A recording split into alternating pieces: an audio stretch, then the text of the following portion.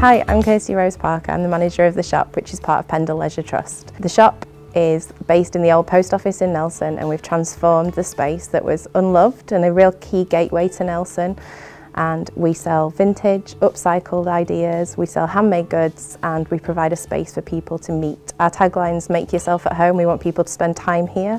So we have free Wi-Fi, we have a kids play area which is free and we have a cafe and hopefully an ever-changing and interesting range of displays. The stuff we sell, it's all about not being mass produced, about offering something different, one of a kind.